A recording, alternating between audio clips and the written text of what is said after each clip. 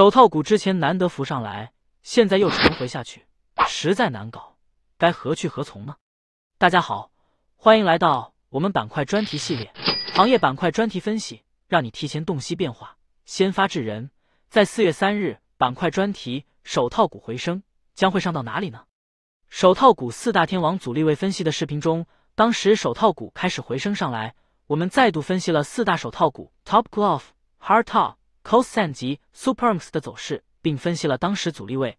如果股价上攻无力，就要适时套利走人了。回看之前个人总结，我们当时对手套股的解读是：个人总结，在市场中，股价涨涨跌跌是平常事，这也是阴阳循环生生不息的规律。作为短线交易者，如何捕捉市场的涨势波段中？来为自己赚点钱才是重要的事，毕竟我们是来市场赚钱的呀。因此，如何设好多方的支撑与空方的阻力，就可知己知彼，在充满变化的市场就不会慌张，在与自己预判不对时，就可做好应变计划。至于新闻报道，大马橡胶手套厂商协会 Markma 看好手套需求和售价将回稳，对其行业的预测及理想，或许长远来说是正面的。当在朝向这理想前进时，短期却仍面对很多不确定因素。这也是分析员的看法，而我们目前对手套股技术走势的解读，股价目前在跌到历史低点后反弹回升，股价每上一个价位都需面对套牢盘的压力，因为股价从高位跌下来都积累了很多套牢盘，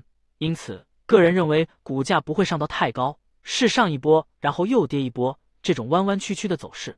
无论如何，只要在这波涨势赚点钱，在跌势来临前收获盈利就不错了。果然又被我们说中，股价上一波又跌一波。仍然延续弯弯曲曲的走势。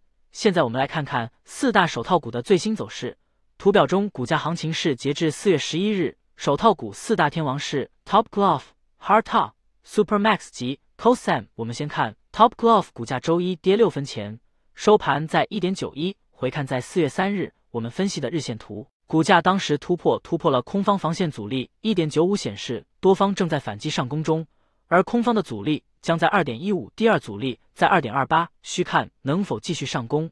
而多方支撑将转为一点九五，第二支撑在一点八三。虽然多方正在反击中，但由于市场变化不定，如果多方上攻无力，就要适时收获盈利了。不然，空方取得主动权时，将在多方辛苦获得的盈利又还回给市场了。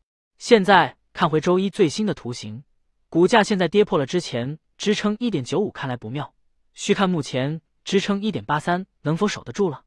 第二支撑在一点七六，目前还没有看到止跌讯号，仍然弱势，不懂会跌到哪里了。第二个股 Hartel 股价周一跌十一分钱，收盘在四点七七。回看在四月三日我们分析的日线图，股价已突破突破了空方防线主要阻力四点九一，当时需看能否继续上攻，挑战空方更高阻力五点三九了。目前空方的阻力将在五点三九，第二阻力在五点七一。而多方支撑将转为四点九一，第二支撑在四点七七，多空双方仍在激烈战斗中。但随着时势的演变，如果多方上攻无力，就要适时收获盈利了，不然到空方反击时，将把多方辛苦获得的盈利又还回给市场了。现在看回周一最新的图形，股价现在跌破了之前支撑四点九一，跌落到之前第二支撑四点七七，看来也是不妙，需看目前支撑能否守得住了。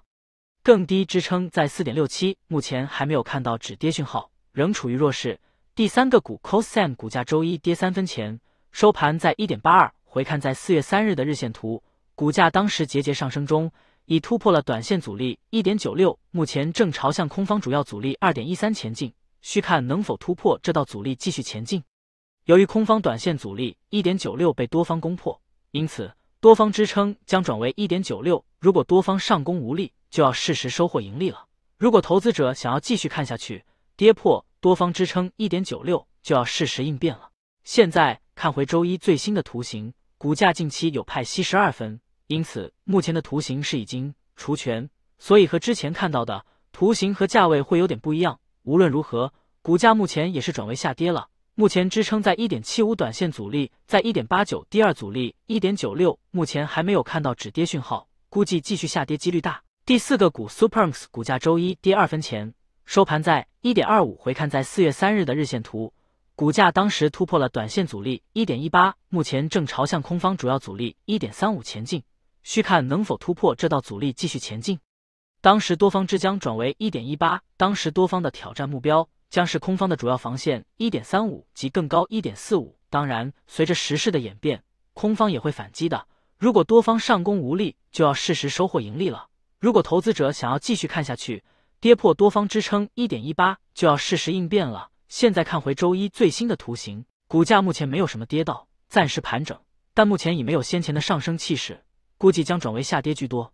目前阻力在一点三五，支撑在一点一八，第二支撑在一点一三。由于其他手套板块股已跌，后市看来也是下跌居多。个人总结之前我们对手套股技术走势的解读，由于股价上方仍然很多套牢盘的压力，因为估计股价不会上到太高，是上一波然后又跌一波这种弯弯曲曲的走势，看来这种蜿蜒走势仍然会持续下去。因此，短线交易高抛低吸是较适合灵活的方法。不过低吸也要等道指跌时才可进行哦。好了，以上案例分析仅供参考，没有买卖建议。今天就分析到这里，下期将分享更多好料给大家。我们的频道是分享大马股票技术分析、图表研究、交易策略探讨等。如果这支影片对你有帮助的话，请多多支持及点击订阅哦，谢谢。